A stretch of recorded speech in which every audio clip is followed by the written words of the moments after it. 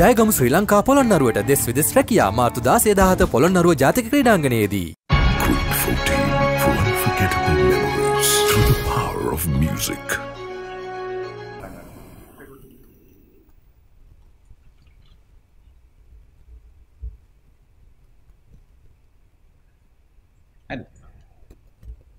අද ශ්‍රී ලාංකික සියලුම ජනතාවට ඉතා විශේෂිත විශේෂිත වූ දිනයක්. ඒකට හේතුව තමයි මාර්තු 15 ලෝක පරිභෝගික අයිතිවාසිකම් දිනය. මම මේක ලංකාවට නම් විහිළුවක් වෙලා තියෙන්නේ මොකද අපි කතා කරන්නේ පාරිභෝගික අයිතිවාසිකම් ගැන. මම අයිතිවාසිකම් නැති පාරිභෝගිකයන්ද ජනතාවට උන්නත්තුණු රාජ්‍යයක සිට තමයි අපි මේ ලෝක පාරිභෝගික දිනය අද සමරන්න යන්නේ. ඒක මම කිව්වා වගේ ඒක විහිළුවක්. ඒකට හේතුව තමයි අපි දැක්කොත් එහෙම මේ පහුගිය අවුරුදු දෙක තුන ඇතුළත පාරිභෝගිකයන් මහපාරේ මැරිච්ච පාරිභෝගිකයන් මහපාරට පැමිණ සිටපු රාජ්‍යපාලකයන් පළවා හැරීම අද දක්වා පාරිභෝගිකයන් ඉතාම අසීරුවෙන් ජීවිකාව ගැටගහගෙන යන කාලයකට පත් වෙලා තියෙන එකට හේතුව අපි දන්නවා. පහවුරුදු පහුගිය අවුරුදු දෙක තුන ඇතුළත අපේ ජීවන වියදම 100 300කින් පමණ වැඩි වෙලා තියෙනවා. විශේෂයෙන්ම මේ රජය අසමත් වෙලා තියෙනවා පාරිභෝගිකයන්ට සාධාරණයක් ඉටු කිරීමට. එවැනි අවස්ථාවක තමයි මේ ලෝක පාරිභෝගික අයිතිවාසිකම් දිනය සමරන්නේ. අපි බැලුවොත් එහෙම මීට මාසයකට පමණ කාලයකට ප්‍රථම අපි දැක්කා කැරට් කිලෝ එක රුපියල් 2500ට ගියා.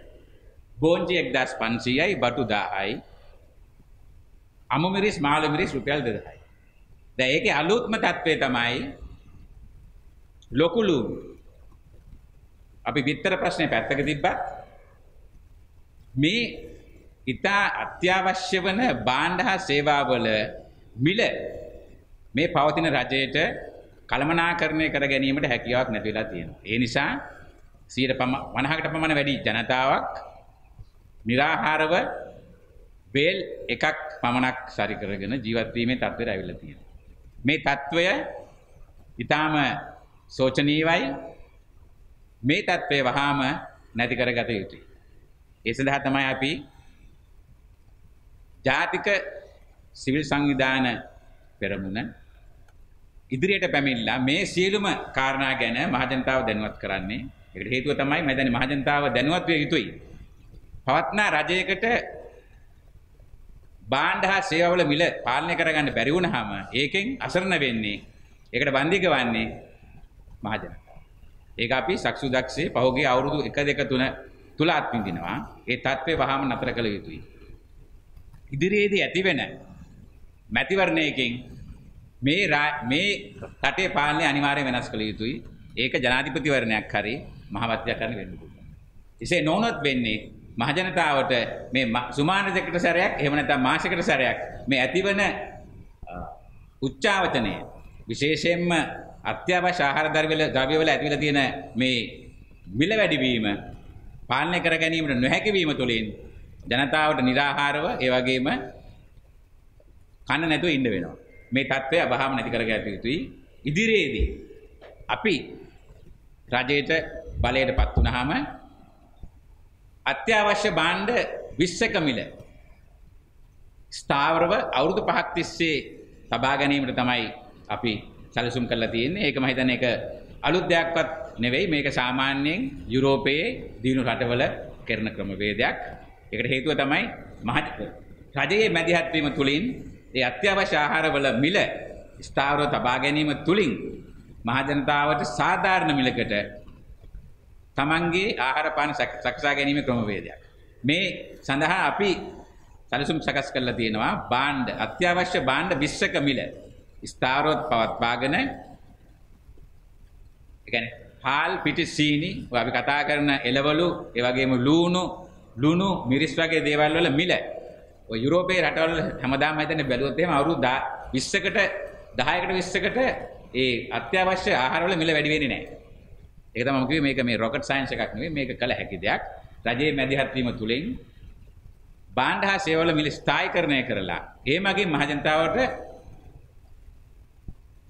සහයෝගයක් ලබා දීම තමයි අපේ ප්ලෑන් වල තියෙන්නේ. මේක කළ හැකි නොහැකි දෙයක් නෙවෙයි මේක කළ හැකි දෙයක්. ඒ අනුව අපි බලාපොරොත්තු වෙනවා මේ පණිවිඩය මේ අපේ ප්ලෑන් එක මහජනතාවට අරගෙන ගිහිල්ලා මහජනතාවත් එක්ක සමග සාකච්ඡා කරලා අපේ සැලසුම් මොනවද කියලා ඉදිරියේදී ඉදිරිපත් කිරීම.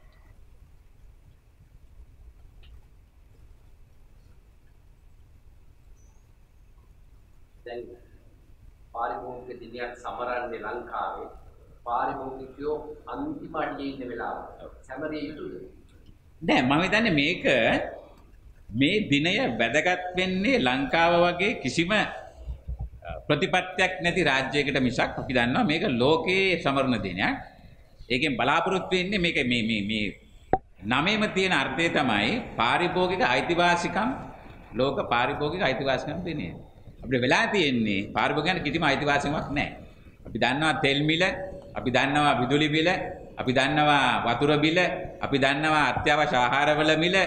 මම කියවනේ පිටරක් මිලවත් පාලනය කරගත නොහැකි රජයක් පවතින දුර්වල කළමනාකරණයක් පවතින රටක අපි ඉන්නේ. ඒතකොට අපි ද- අපිට මේ සුමානේ කතා කරන්නේ දූණු වෙන්න ඇති ලබන සුමානේ අපි දන්නේ මොනවද කියලා. ලබන සුමානේ මේක අල වෙන්න පුළුවන්. ඒ ඒ වගේම රජත් අල වෙන්න පුළුවන් මේ යන ක්‍රමයට.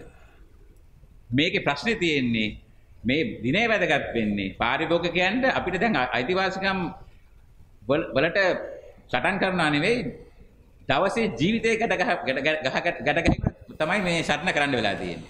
ඒතර මේක අපි ලංකාවේ මත බැලුවම මාධ්‍ය වල කිසිම මාධ්‍ය අ, බුද්ධිත මාධ්‍යයක නැහැ මේ පාරිභෝගික අයිතිවාසිකම් දිනය කියන එකත් සඳහන් කළා නෑ මොකද මහජනතාවට මේක අමතක වෙලා තියෙන්නේ. මම මේක අපි කරන්න ඕන මේක මහජනතාවට මතක් කරලා මේ අයිතිවාසිකම් වෙනුවෙන් මහජනතාව ඒකරාශී කරලා ඒ සඳහා සටන් කිරීමේ කාලය එළඹලා තියෙනවා. නැත්නම් වෙන්නේ අපිට මහජනතාවට නොකා නොබී ඉන්න තමයි වෙන්නේ ඉදිරි අනාගතයේදී. දැන් කාලේ